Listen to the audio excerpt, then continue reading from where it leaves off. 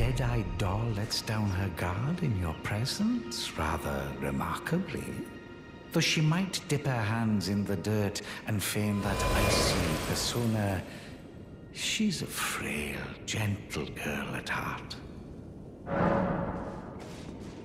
You understand, don't you? That once you have Ranni drink my draft, my scheme will come to fruition. And we we'll be in a position to claim the very finest puppet ever crafted. Just imagine the pure elation.